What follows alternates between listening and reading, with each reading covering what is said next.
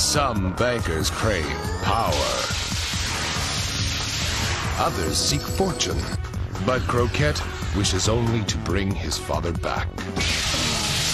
Dad! Be strong, Croquette. His father, Burger,